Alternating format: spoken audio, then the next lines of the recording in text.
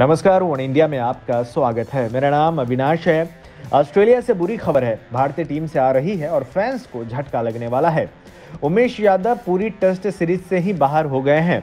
उमेश यादव चौथा test match नहीं खेल पाएँगे। चोट की वजह से उमेश यादव टेस्ट सीरीज़ से बाहर हो चुके हैं और ये जो चोटिल होने का सिलसिला है, भारतीय टीम में लगातार जारी है। ईशांत शर्मा पहले ही चोट की वजह से दौरे पर नहीं आए। इसके बाद मोहम्मद शमी चोट की वजह से निकल लिए और अब उमेश यादव चोट की वजह से भारत लौट रहे हैं। इस दौरान बस राहत देने वाली बात यह है कि आपकी टीम ने मेलबर्न टेस्ट मैच जीता है और उनकी जगह नटराजन के बतौर बैकअप गेंदबाज शामिल किए जाने की खबर है।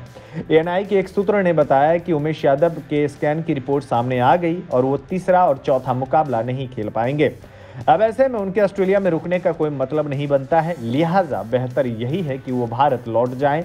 उनको बेंगलोर के नेशनल क्रिकेट एकेडमी में रिहैब के लिए जाना पड़ेगा। अब उमेश यादव की जगह बैकअप के लिए दो नाम सामने आ रहे हैं। पहला शार्दुल ठाकुर और दूसरा टी नटराजन।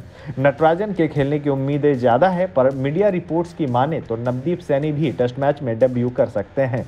हालाँकि बैकअप में जो भी खेले, पर ये जो चोट लगने की समस्या है, वो लगातार जारी है, जो कि अच्छी बात नहीं है। ऐसे में अगर टीम इंडिया ऑस्ट्रेलिया के साथ सीरीज़ रिटर्न भी करवा लेता है तो बड़ी बात होगी। उसके लिए बस एक और टेस्ट मैच जीतने की ज़रूरत है। साथ ही तीसरे टेस्ट मैच के लिए रोहित शर्मा टीम से जुड़ जाएँगे।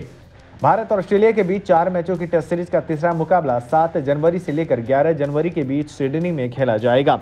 मेलबर्न में खेले गए दूसरे टेस्ट मैच में भारत ने मेजबान टीम को आठ विकेटों से हराकर सीरीज़ में एक एक की बराबरी कर ली। चार जनवरी को दोनों टीमें सिडनी के लिए रवाना होने वाली है। इस खबर में बस इतना ही। तमाम अपडेट्स के लिए बने रहिए वन इंडिया के साथ।